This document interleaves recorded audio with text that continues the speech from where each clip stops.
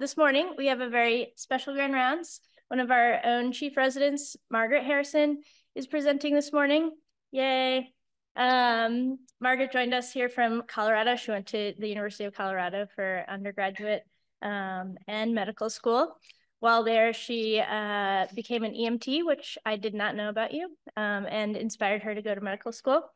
Uh, she's one of our administrative chief residents here, um, keeps everyone in line. Um, and uh, uh, well, after this, we'll be returning to Colorado to, uh, for a job as a generalist. So welcome.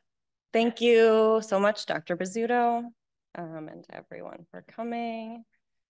Um, so like Dr. Bizzuto said, I'm Margaret. I'm one of the fourth year residents. Um, and my talk today will be on cannabis and reproductive health, taking a look at what we know about the impacts on preconception, gestational, and fetal outcomes.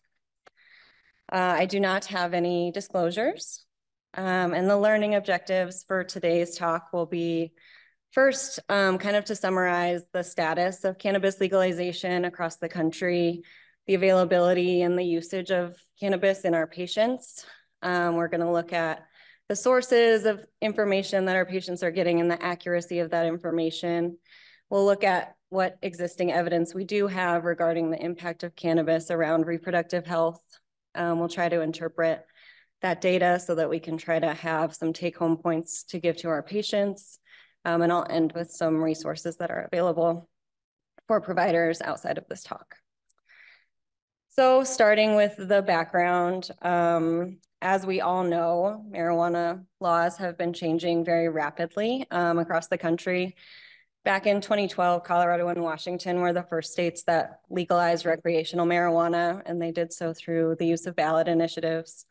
Uh, most recently, Ohio was the 24th state to legalize recreational marijuana, and that happened just in November 2023. So now, at this point, more than half of the US population lives in a state where it is legal um, to use recreational marijuana. And even though in Wisconsin, we have not had any lawmakers who have introduced any legislation to move towards legalization, many of our local governments here are working to decriminalize things. So for example, um, in Madison, it's legal for you to possess up to 28 grams of marijuana, though it's still not legal to buy and sell. Um, in Milwaukee, they've re reduced the fine down to $1. So it's essentially decriminalized there. Um, so even though cannabis remains illegal to buy and sell in Wisconsin, um, over the past four years, it has been legalized in three of our neighboring states. Um, that includes Minnesota, Michigan, and Illinois. Um, and that's made it increasingly easy for Wisconsinites to have a way to obtain marijuana through what might seem either legal or less risky than it was in the past. Um, this map was published in 2023 by the Wisconsin Policy Forum. It shows that about 50% of all Wisconsinites in of legal age live within about an hour drive from a recreational dispensary, um, including all residents of major cities like Madison and Milwaukee. Um, and then since this was published, Minnesota passed additional legislation to allow for recreational as well as medical marijuana. So these numbers have only increased. Um, and at this point, marijuana is by far the most popular and the most accessible drug in America. Um, along with those legislative legislative changes, there is a growing acceptance that marijuana is overall really low risk. Um, the legalization of marijuana has probably played a large contributing role in that, uh, but there's also really large advocacy organizations and a lot of business interests that are working hard to kind of promote the idea that marijuana is safe. Um, about 75% of Americans are reported to believe that marijuana is less risky than tobacco use, less risky than alcohol use, less risky than taking pain medications. Um, and then along with believing that it's overall less risky for a general, the general population, um, one study that showed that the perception that there are no risks associated with cannabis use in pregnancy has increased about threefold over the last 15 years. Um, so today, about one in five Americans think that cannabis use is totally okay in pregnancy with no known risks. Um, and these perceptions are all despite kind of universal statements um, from all the major medical organizations, ACOG, AFP, AAP, that all um, recommend against use in pregnancy. Um, the reported prevalence of cannabis use in pregnancy varies very widely in the literature. Um, it ranges between 3 and 30%. Um, but data do consistently support that that prevalence is increasing over time with the increasing um, legalization. And multiple studies have shown that the highest prevalence is in the first trimester compared with the second and third. The prevalence overall is likely underreported. Uh, multiple studies have demonstrated that self-reported marijuana sampling um, and biological sampling do not tend to match. Uh, self-report tends to underestimate prenatal marijuana use at least two to three times um, compared to when they look at urine toxicology studies. You know, some of that variation may be because we don't really have a gold standard on how to test for marijuana exposure during pregnancy. Um, but a lot of that is probably because of the challenges with self-reporting um, due to perceived percussions of repercussions of disclosure, possible recall bias of using marijuana early in pregnancy before they knew they were pregnant, um, or the fact that many of these studies were either conducted a long time ago or were done in states where um, it's more heavily criminalized. Uh, but this prevalence is only predicted to increase. Um, because of the challenges in knowing the true prevalence of use in pregnancy, relatively little is known about the predictors for who's at risk for cannabis use in pregnancy.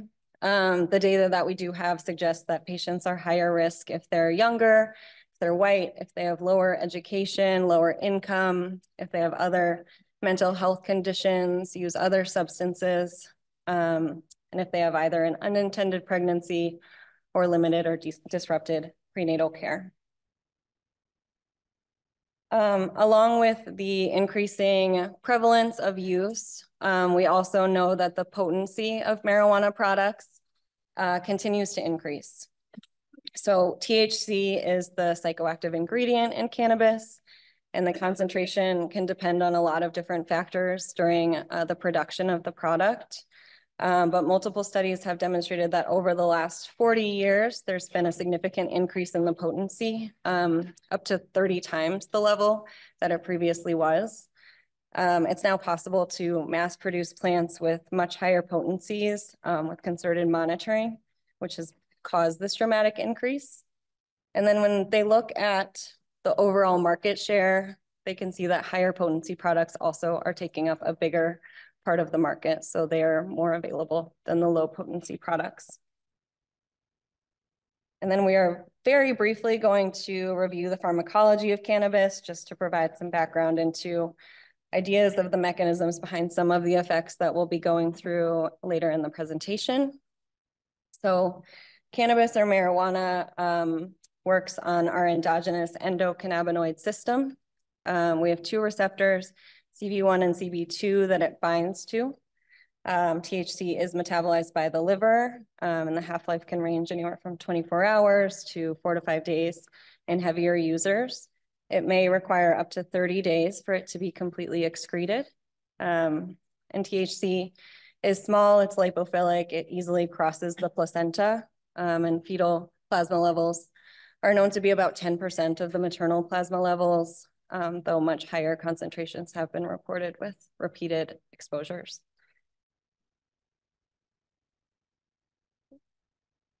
Um, so our endocannabinoid system, um, like I said, it easily crosses the placenta, but because it's lipophilic, it also easily crosses the blood-brain barrier. It can accumulate in fetal tissues, particularly the brain. Um, so those receptors, CB1 and CB2, they are pretty widespread throughout the body, but they're particularly prevalent on the central nervous system, peripheral nervous system, as well as the male and female reproductive tract. Um, this signaling system has regulation over motor control, memory, um, executive brain functions. Um, and components of the system are present during embryonic central nervous system development as early as 16 days gestation um, right around the time when the neural plate and the neural tube are being established. There are also some endocannabinoid receptors on the beta cells of the pancreas, which I only bring up because it might relate to some changes in fetal growth that we see with cannabis use. Um, and finally, I just want to quickly review different types of exo exogenous products. Um, there are a variety of modes of consumption, smoking, vaping, eating, or topical use. Um, so what's the difference for us? Why does it matter? When we look at it, um, patients who inhale um, have a faster onset of those effects. And those effects, um, they also come with uh, the known lung harmful lung effects um, associated with inhalation, whereas ingestion has a delayed onset. It doesn't reach its peak for up to an hour. Um, so it avoids those toxic effects on the lung, but it does come with an increased risk of overdose or toxicity. Um, and since edible products have become more available, we know that uh, visits to the emergency department for intoxication are increasing. Um, topical products like lotions or patches are not psychoactive and do not enter the bloodstream. So next, we're going to take a look at where patients are currently getting their information about cannabis from. Um, pregnant women who are interested in using marijuana may refrain from seeking information from their healthcare providers due to fear of legal repercussions. Um, and so instead, they may seek advice from some other sources. Um, our patients often turn to dispensaries for advice as they consider those employees kind of like the experts in their field. Um, one study in Colorado used a mystery caller approach. They contact, contacted um, 400 different dispensaries across the state, just soliciting advice about cannabis product use. The caller claimed to be eight weeks pregnant um, and asked for recommendations about products that they could be using in early pregnancy. In that study, about 70% of the dispensaries that they contacted did end up recommending some kind of cannabis product for use of nausea in pregnancy. Um, only 37% of those pharmacies were licensed for medical sale. Some of the quotes from that study are up on the screen, uh, but some examples are things like you know, technically with you being pregnant, I don't think you you're supposed to be consuming that. But if I were to suggest something, I'd suggest something high in THC. Um, or things like edibles wouldn't hurt the child, they'd just be going through your digestional tract. Um, up to 80% of dispensaries did eventually recommend that they talk to a healthcare provider, uh, but the majority of those needed prompting prior to doing that. Um, studies have also shown you know, kind of outside of pregnancy that the advice that's given out by dispensaries is largely based on just personal opinion or anecdotal evidence um, rather than any medical basis. And most dispensaries don't require any formal or medical training about their products. Patients may also look at the labels on their products for information on safety. Um, as the use of marijuana has expanded, the variety of products that are available has also increased, um, but the regulation and the quality assurance, particularly for edible products, is severely lacking. Um, studies that have evaluated the accuracy of labeling shows that um, they are accurate between 12 and 30% of the time, some of the time being way over labeled, sometimes under labeled. Um, and some products that are labeled as CBD only or marketed to not have any THC or psychoactive ingredient actually do have THC in um, amounts that are sufficient to cause intoxication.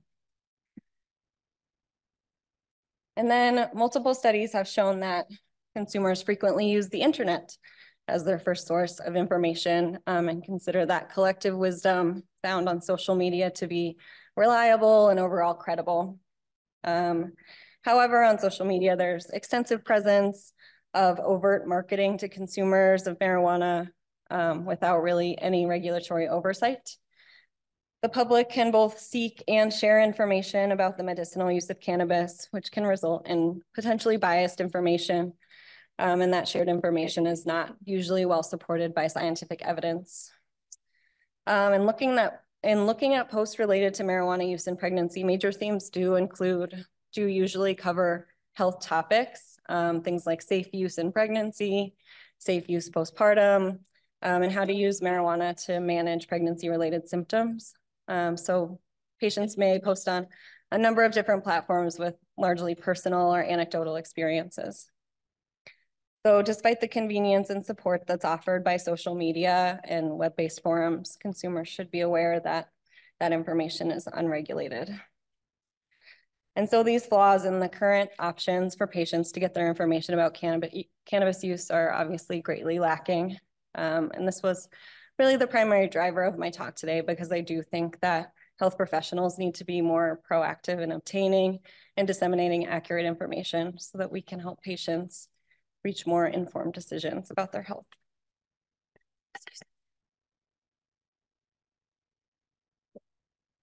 Um, okay, so looking at the short-term effects of marijuana, marijuana use in the short term has been associated with several different adverse, adverse outcomes during intoxication. It can interfere with things like cognitive function, memory, perception of time.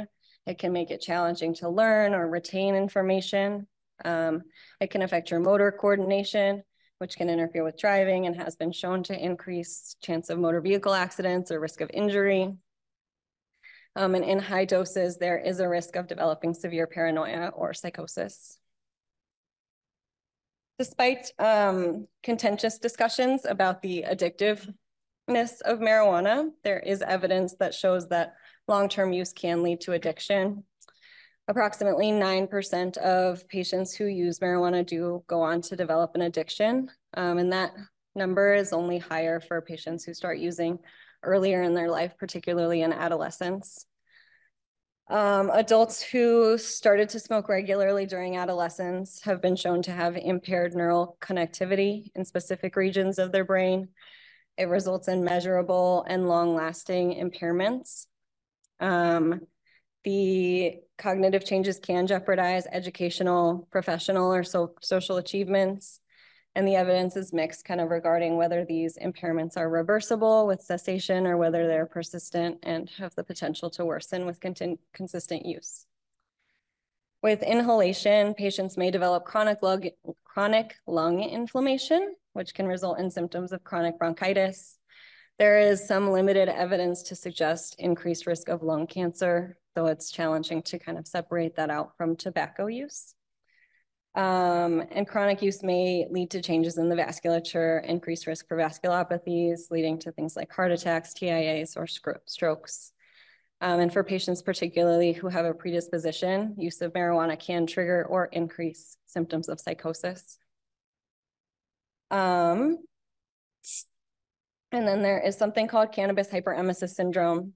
So this syndrome is a paradoxical condition uh, in which long-term cannabis users develop intractable nausea and vomiting that may last days at a time. Um, unlike other vomiting syndromes, it can be, relieved by things like hot showers or the use of topical capsaicin cream. Uh, there are no labs or images that can aid in this diagnosis, so it's really based just on clinical symptoms and the diagnosis is confirmed if their symptoms resolve after they've stopped use for a year. According to the most recent DSM-5, there is only one main mental health disorder caused by cannabis use, uh, and it all follow, falls under the umbrella of cannabis use disorder. Um, symptoms that are included in the criteria are things like needing increased dosage to, to maintain the same effect, having increased tolerance, experience withdrawal symptoms, having it interfere with your life, experiencing cravings, Having two to three symptoms is considered mild cannabis use disorder, while six or more um, is defined as severe. And most of the long-term effects of marijuana that are summarized here have been observed among just heavy or longer-term users. There are multiple, often hidden confounding factors that detract from our ability to establish causality for any of these effects. So the New England Journal of Medicine published this table um, trying to convey the level of confidence that we have about these effects. Um, in this table, they noted that we have the highest confidence in the potential for addiction, uh, the diminished lifetime achievement, motor vehicle accidents, um, and symptoms of bronchitis.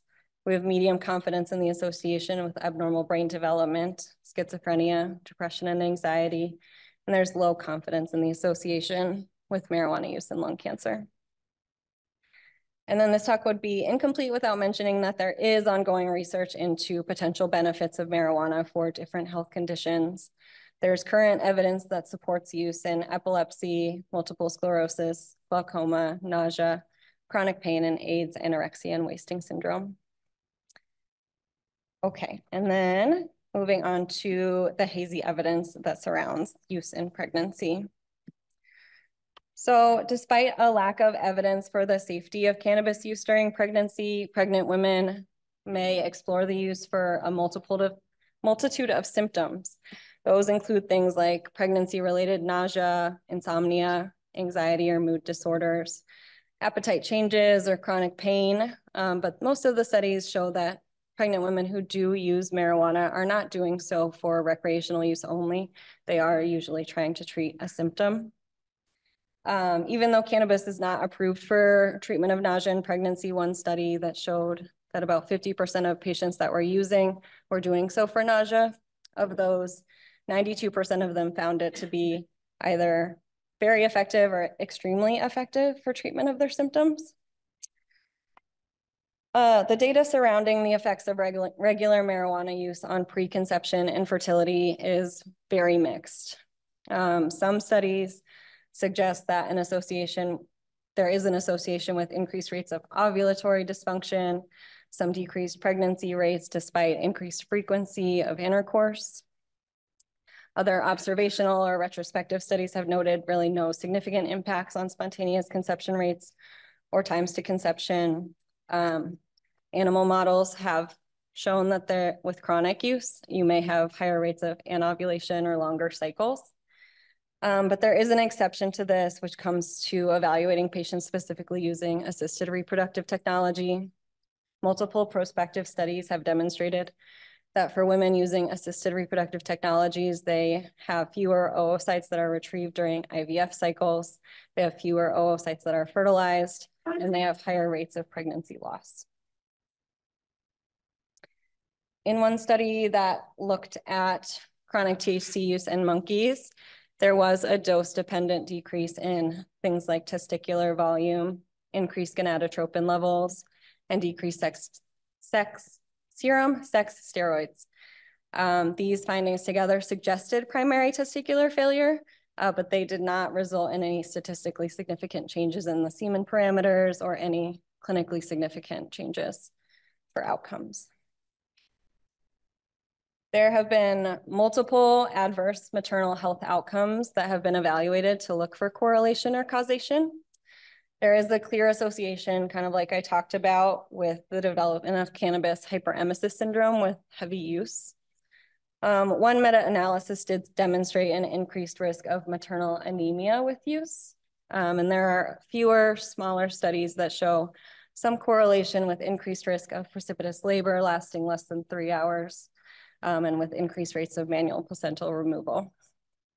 To date, there has not been any association with any of the other outcomes that are listed on the screen. And then now we're going to move on to the effects, the neonatal effects. Um, so several studies have evaluated newborn birth weights um, and multiple biometric parameters after in utero exposure a meta-analysis demonstrated that marijuana use alone was not associated with increased risk of low birth weight. However, when they stratified by the amount of use, women who were using at least weekly were significantly more likely to give birth to a small for gestational age infant. This result is supported by a retrospective study that was published even after the meta-analysis, which also found a modest increase in low birth weight infants. These graphs both come from a large prospective cohort study that included 10,000 pregnant persons. They conducted serial growth ultrasounds throughout the pregnancies. Um, they found that cannabis use during pregnancy was associated with reduced growth when used in early pregnancy, but that was particularly true for patients who continued to use into the second and third trimester. Um, the relationship was noted to be dose dependent, and for the heaviest users, a difference of 277 grams at birth was reported. There are some smaller studies that have also noted smaller birth lengths, smaller head circumferences, and those are more pronounced with increased use in early pregnancy, particularly the first and second trimester. Um, so there are a few mechanisms that are proposed for causing fetal growth restriction with marijuana use.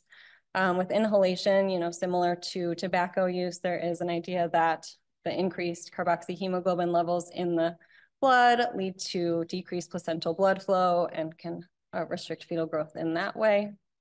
Um, I mentioned that there are cannabinoid receptors on the beta cells of the pancreas. When our endogenous um, cannabinoids bind to those receptors, it decreases insulin. So there is some theory that decreasing the insulin-like growth factors during pregnancy might lead to decreased fetal growth.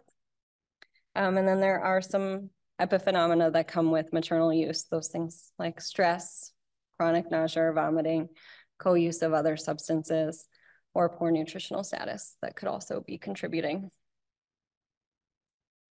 There are a few studies that have looked at preterm birth as a primary outcome um, in prospective cohort, stu cohort studies.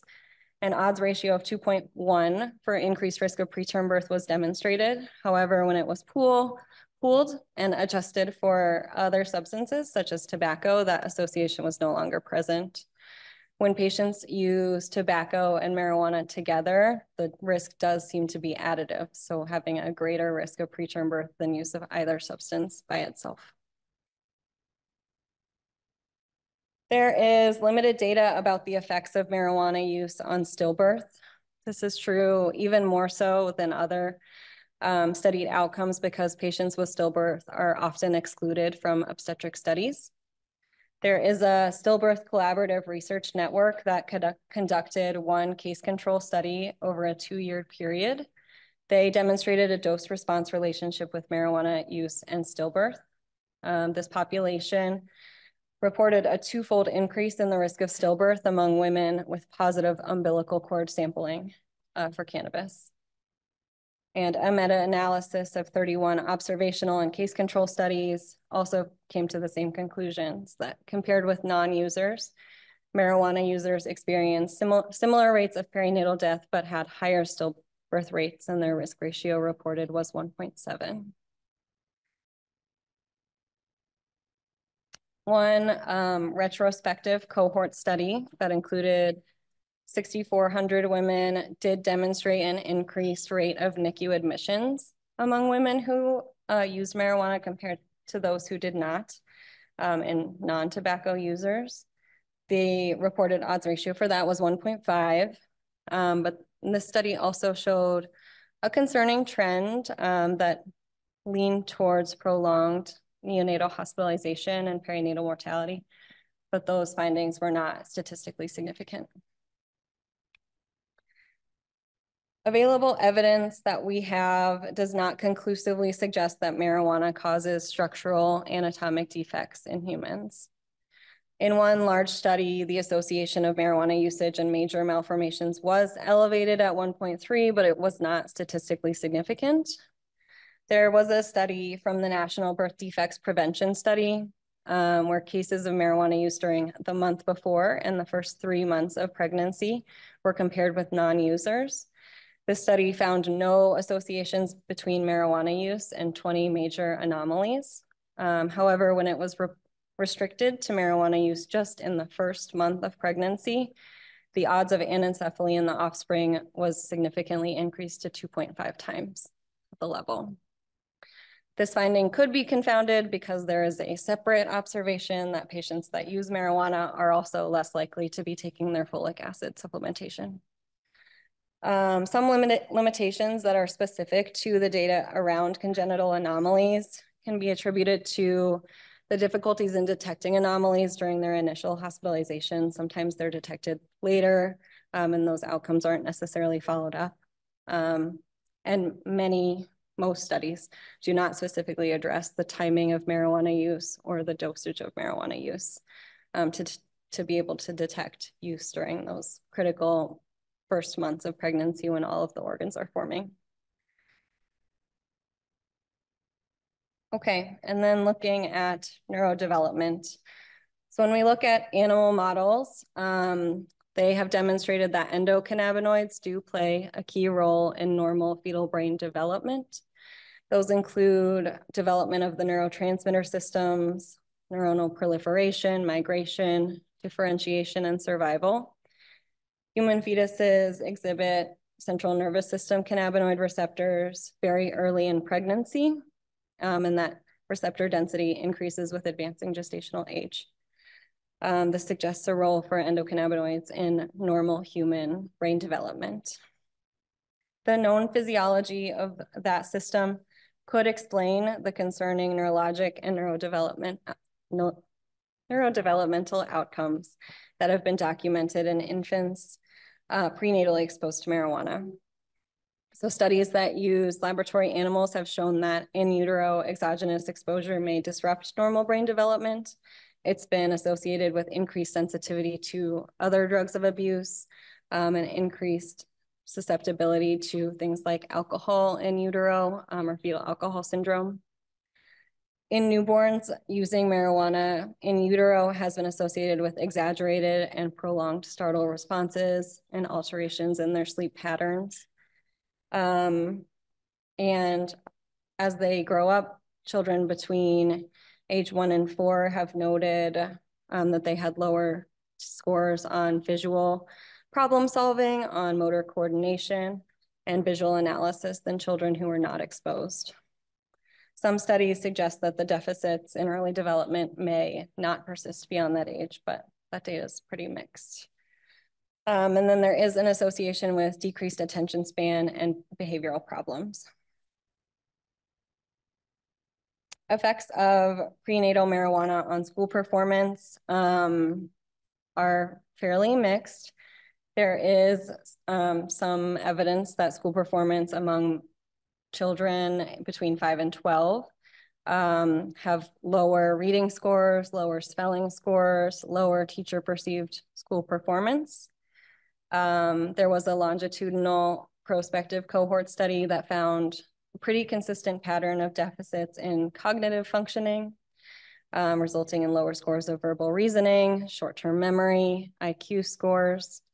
Um, the effects were associated with increased rates of hyperactivity, impulsivity, um, and, and inattention problems, as well as increased rates of childhood depression symptom, symptoms. Prenatal marijuana use is also known to be an independent predictor of marijuana use by age 14. There is some data that maternal cannabis may alter the development of the neonatal dopamine system, um, causing a predisposition for addiction later in life. Um, one study that looked at postmortem human fetal brains for elective terminations looked at the dopamine receptors between marijuana users and non-marijuana users. And those dopamine receptors were significantly increased in a dose responsive way uh, for marijuana users. There is really insufficient data to evaluate the effects of marijuana use on infants during lactation and breastfeeding.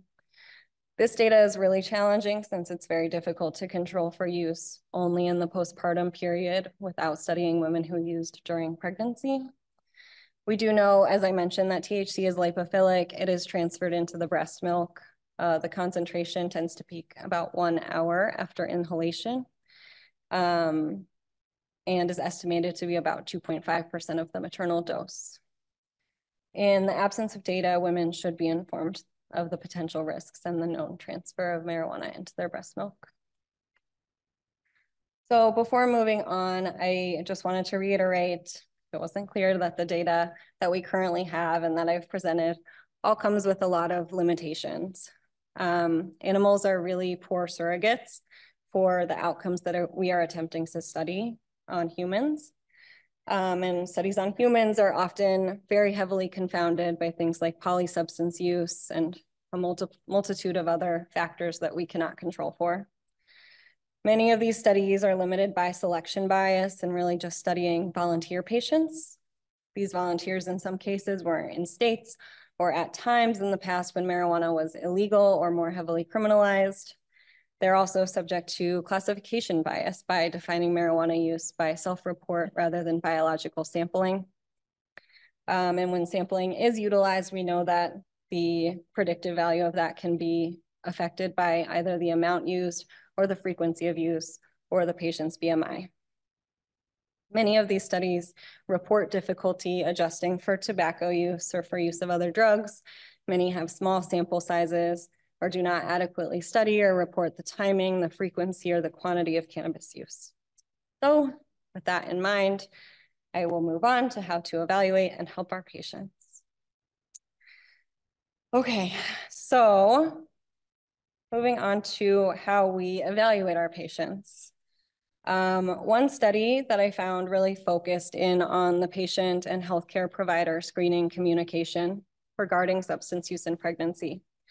This study recorded OB visits from five, five clinics, recording um, 480 total patients, um, and they ended up evaluating 460 patient encounters. Um, among those recorded visits, about 19% of patients disclosed use of marijuana to their provider, um, and 90% of those disclosures occurred during a provider-initiated screening about illicit drug use or marijuana use. Um, the five domains of responses that could have come from their provider fell into different categories, things like no counseling, punitive counseling, helpful and supportive counseling, or kind of like unclear counseling. Um, and nearly half those visits where the patients disclosed their use, um, obstetric healthcare providers offered no counseling or information. Um, and in a quarter of those visits, the provider did not even acknowledge that the patient had disclosed that to them. This study really shows high rates of either insufficient or completely absent counseling and when it did occur, the counseling tended to focus on either legal or child protective services implications rather than on medical or pregnancy complications. Um, and this does demonstrate, I think, a big opportunity for clinicians to engage with patients and provide information that they're looking for. So while we have reviewed all the evidence that we currently have, as well as the limitations of the data, I do think that we have some information worth sharing with patients. At this point, we do not have data to support any benefits of the use of marijuana in pregnancy. We have not established amount of marijuana that is considered safe. We have evidence to suggest that there are potential harms to either the birthing person or their pregnancy. And those things include low birth weight, preterm delivery, stillbirth, respiratory complications, cognitive deficits, um, and higher rates of anxiety and depression depending on the underlying reason of use by the patient, since as we discussed, most patients are using this in order to treat some symptom that they're having. Uh, we can tailor the support that we offer them to suit their needs, whether that is nausea or mood symptoms. We can also try to provide assistance in supporting them in cessation, the same way that we have been support we have been trained to support women intending to stop tobacco use in pregnancy. Okay. And taking a look at the bigger picture um, and what we can do at a systems level to improve patient care, there are some well-studied methods for, for prevention and reduction of substance use. When evaluating program effectiveness, it's difficult to isolate programs that are focused exclusively on preventing marijuana use. So the best evidence that we have really consists of pre prevention research for other substances. Um, one tool that's often used by obstetricians and primary care providers is something called SBIRT or screening, brief intervention, and referral to resources and treatment. Um, this uses validating validated screening questions um, to assess whether the patient may or may not have an issue with cannabis use. Um, uses motivational interviewing when a problem is identified to try to assess whether the patient is ready to make changes and offers referrals to resources or treatment that can be provided. Integrated clinics are kind of like one-stop shops. They typically involve um, a multi multidisciplinary approach so they may have counseling for substance use disorders, for mental health. They may have parenting or child development services, as well as prenatal care, kind of all in one place. Um, and the clinics are designed to promote health equity uh, by helping patients at increased risk. The model has been around since the 1970s, but these clinics are not incredibly common, unfortunately. Uh, home model does adopt some of the principles and key elements um, to address risk factors and behaviors that can impact outcomes. One example of these two methods is with the Kaiser Permanente Early Start Program. This program is in California. It integrates substance use prevention and treatment services into routine prenatal, prenatal care visits. This clinic has a full-time licensed specialist in substance use addiction, um, one for every 1,800 births. And they've demonstrated really positive outcomes. About more than two thirds of the patients in the program reported complete abstinence during pregnancy. They have seen fewer preterm births, fewer stillborn births, stillborn births, and overall lower cost of maternal health care. Health communication campaigns can also be implemented to promote change or produce outcomes for public health. They are meant to provide accurate, direct information to the public via multiple methods um, to try to influence adoption of healthy behaviors for the general public. There's pretty limited research about the effectiveness of campaigns like this on marijuana use, but it has been used effectively to change beliefs about tobacco use. They require a lot of thoughtful planning, however, um, as recently there was a campaign that was put out um, somewhat aggressive messaging about alcohol use in pregnancy and following the campaign, they actually found worse maternal outcomes and higher healthcare costs. One example of a successful campaign is the Tips from Former Smoking campaign. This uh, campaign was launched in, launched in 2012 by the CDC. Uh, used stories of patients who had long-term health effects either from smoking themselves or from secondhand hand smoke. It was estimated to have reached about 75% of US adults um, and was associated with increased rates of smoking cessation. Contingency management um, is one of the most effective approaches for treating substance use disorders. This relies on operant conditioning or basically providing rewards for individuals who are willing to um, make a behavior change. Many programs use this practice during pregnancy, um, and it has been proven effective to help pregnant women quit smoking or abstain from cocaine or heroin use. Um, and big drawbacks are essentially that it can be more of like a short-term fix and patients may go back to using kind of once that brief period of incentives um, goes away. One effective example of this program is called Baby and Me Tobacco Free. Um, this program was an initiative that was created to reduce the impact of tobacco use on pregnant and postpartum women during pregnancy, the women would go to counseling sessions, and if they did quit um, smoking, then they were rewarded with incentives like diaper vouchers. Um, they were also encouraged to attend postpartum, and they were eligible to continue to receive incentives up to 12 months postpartum. We all know that the postpartum period can be a really risky time for women um, in a lot of ways, but they can also relapse or engage in substance misuse. Um, and approximately one in nine women experience postpartum depression, and there are a lot of stressors that come with caring with a newborn. Uh, one of the most studied practices to help women cope with challenges is home visitation, um, and multiple studies have demonstrated both maternal and child outcome improvements with postpartum visits. The University of New Mexico has a program for pregnant people with alcohol and substance use history that's meant to prevent and treat substance use during and after pregnancy. The treatment plans are really customized um, and they have a number of different services available, high-risk prenatal care, substance use, domestic violence resources, trauma support, relapse prevention, and they have seen really positive outcomes for cessation and for prevention. And then finally, while there are concerns that implementation of punitive strategies may deter patients from seeking healthcare either during or after pregnancy with regards to their substance use. We know that some policies have been effective in helping decrease rates of adolescent use, uh, particularly around alcohol. Um, so lawmakers that have enacted policies like um, the minimal legal age, a lower blood alcohol concentration, and limiting commercial and social access to adolescents for alcohol advertising has made a big impact. Um, but there's not very much research on how those policies could have similar positive effects for adolescent marijuana use. An example of this, as I mentioned, is the advertising restriction. So um, there were laws put into place that restricted the ability of alcohol advertisers to market specifically towards adolescents.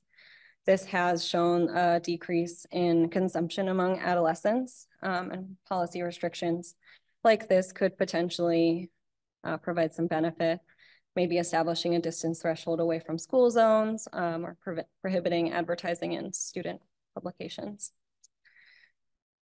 And then finally, I just have some provider resources um, if you are interested in learning more outside of the talk today. This first resource is a toolkit that is intended for harm reduction of all types of substance use during pregnancy. This was created by the National Harm Reduction Coalition. The toolkit includes a discussion of navigating challenging discussions with patients in a respectful, non-stigmatizing manner. Um, and it really covers harm reduction strategies. So this is the idea that if we can't completely eliminate the harm, then we should at least do our best to mitigate it or minimize it um, and help patients achieve that. Uh, one example that they give um, is talking about patients through if they plan to use marijuana postpartum while they're breastfeeding, suggesting that they breastfeed right before use um, in order to minimize the amount that's going into their breast milk. Um, the Colorado Department of Public Health has also compiled a lot of great resources that's continuously updated both for providers and for patients. They have resources that are specific to pregnancy, lactation, and adolescence and are tailored um, to patients or providers. They have also created a free online trading module that can be found at this website. Um, it's meant to disseminate research, the most up-to-date research, review pregnancy and breastfeeding guidelines, and cover additional safety topics. So in conclusion, despite the limitations and the data that we have reviewed, because there are worrisome trends and indicating potential negative effects on fetal and maternal outcomes, patients who are pregnant or contemplating pregnancy should be encouraged to discontinue marijuana use. Because the effects of marijuana use may be as serious as those of cigarette smoking or alcohol use, marijuana should be avoided if possible during pregnancy. Before pregnancy and in early pregnancy, all women should be screened for use of marijuana as well as other substances and referred to treatment if they desire it. Um, women who are reporting marijuana use should be counseled about the potential concerns for adverse health outcomes if they continue to use during their pregnancy. These include things like fetal growth restriction, which is something that we have the strongest evidence for, but also some concern that there is an increased rate of stillbirth, altered fetal neurodevelopment. And they should be informed um, that the purpose of screening is not to punish them or prosecute them, but in order to provide health, health, helpful health information and help them have a healthy pregnancy. These are my references. Thank you. Margaret, did you find any reference to like differences in outcomes between states that have legalized marijuana in different ways and states that have not? Not really. A lot of the data right now is coming from states that have legalized it because as it's federally not legal, it's very difficult to obtain research funding unless you live in a state that has separate like state-based funding. And so now more of the data is emerging from states like Colorado, Washington, or Oregon with the most liberal laws. Um, so those, it's hard to say how generalizable that is to other states that it's not as legal. Thanks. I learned so much from your presentation. That was great. When you do a UDS on OB here, does that include marijuana? And if so, what are the implications of that? It does include marijuana when we do it here. We do it so rarely um, that I actually don't know the implications. Maybe Dr. McDonald does because he's raising his hand.